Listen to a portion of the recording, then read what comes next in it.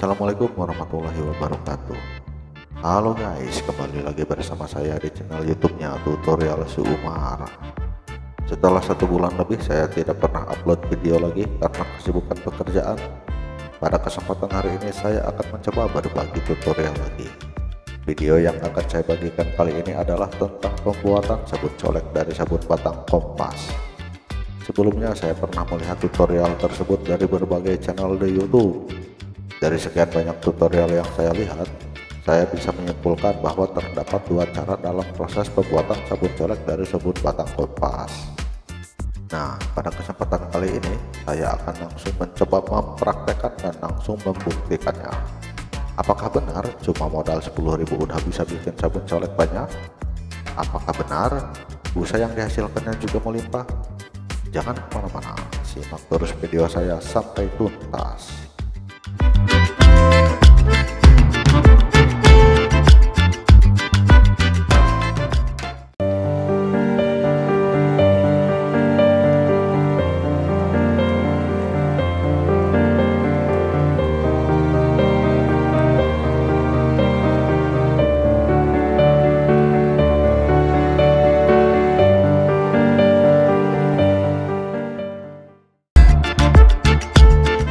Sebagian besar bahan yang digunakan pada channel YouTube yang lain adalah 4 batang sabun kompas, satu bungkus deterjen bubuk kemasan harga 5000, satu bungkus deterjen cair, dan air yang digunakannya bervariasi mulai dari 5 liter sampai 8 liter.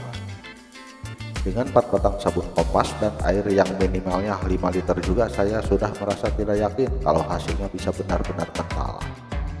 Untuk itu saya akan mencoba menambahkan satu buah lagi sabun batang kompasnya. Jadi bahan yang saya gunakan adalah 5 batang sabun kompas, satu bungkus deterjen bubuk kemasan harga 5000 dan dua bungkus rinso cair yang harganya seribuan. Untuk airnya sendiri saya akan menggunakan takaran air yang 5 liter. Dengan komposisi sabun batang yang lebih banyak dari channel yang pernah saya lihat, dan takaran air yang paling sedikit harusnya sih hasil akhir dari sabun ini bisa menjadi lebih kental dan padat untuk itu kita langsung ke proses pembuatannya aja guys. Dalam proses pembuatan sabun colek tersebut terdapat dua cara yang berbeda yaitu direbus dan disiram dengan air panas. Sekarang kita coba cara yang direbus terlebih dahulu guys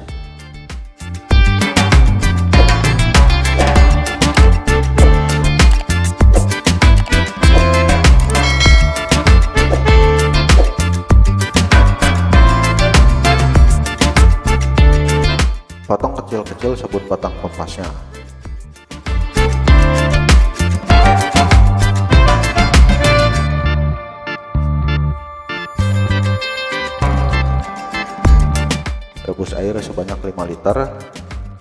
Karena saya menggunakan panci yang kecil maka dalam merebus airnya dibagi menjadi dua bagian. Pertama 3 liter dan kedua 2 liter. Ini rebusan air pertama yang 3 liter guys. Sekarang rebus lagi air terakhir sebanyak 2 liter. Setelah airnya mulai panas masukin sabun batang kompasnya aduk-aduk sampai sabunnya larut secara merata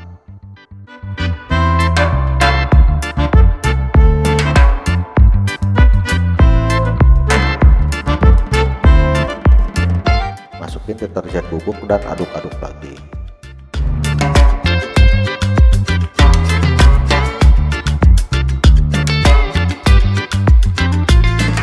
masukin dua bungkus rinso cair dan aduk-aduk lagi.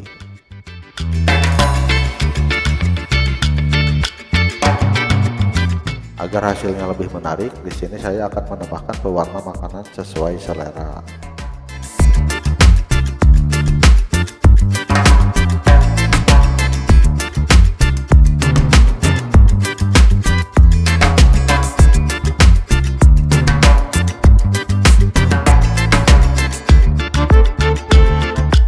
Ini hasil dari cara yang direbus. Karena kesibukan pekerjaan, setelah satu minggu baru saya cek lagi ini guys. Hasilnya encer banget.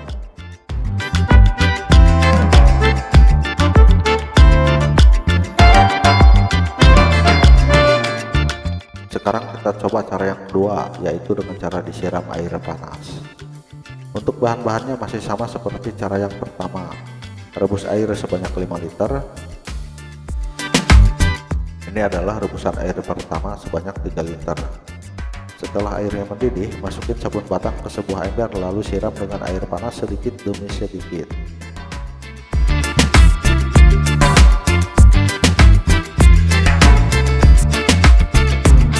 Aduk-aduk agar sabunnya cepat larut.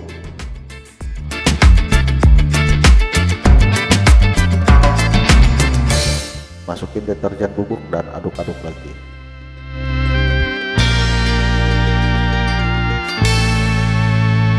Tambahkan pewarna sesuai selera.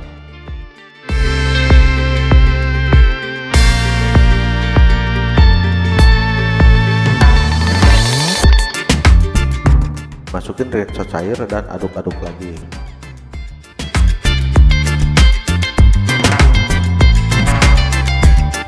Masukin lagi rebusan air yang kedua sebanyak 2 liter, jadi total air yang digunakannya masih sama dengan cara pertama yaitu 5 liter.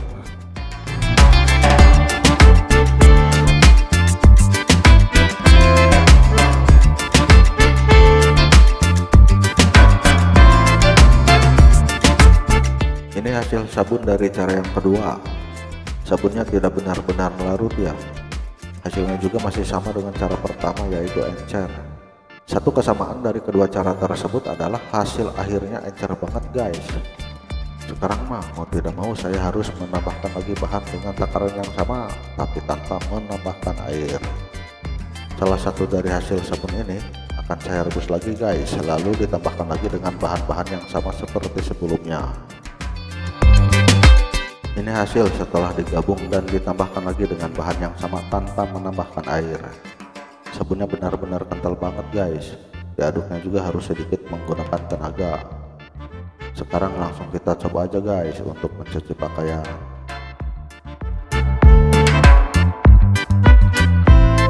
Sebelumnya pernah saya coba tapi tidak ada busanya guys.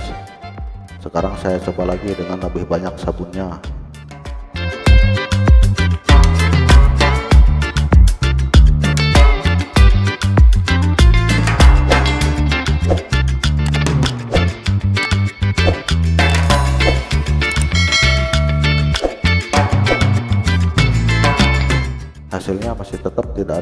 Guys.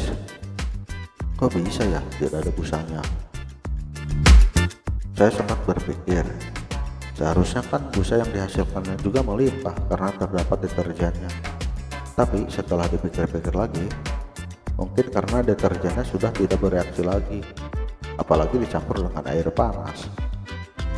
Jadi saya rasa sabun colek dari sabun batang kompas ini tidak cocok dipakai untuk mencuci pakaian guys tapi kalau cuma sekedar dipakai untuk mencuci piring mah masih lumayan bagus.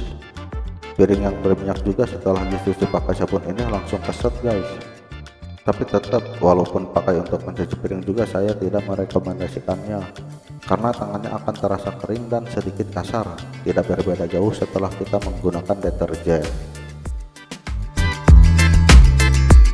Oke okay guys, itulah tadi video saya kali ini. Mudah-mudahan bisa bermanfaat buat kalian semua. Jika bermanfaat, silahkan klik tombol like, share, dan subscribe. Dan jangan lupa juga nyalakan notifikasinya agar tidak ketinggalan jika ada update video terbaru dari saya. Jika ada kritik dan saran yang mau disampaikan, silahkan tulis pada kolom komentar di bawah ini. Sekian dan terima kasih.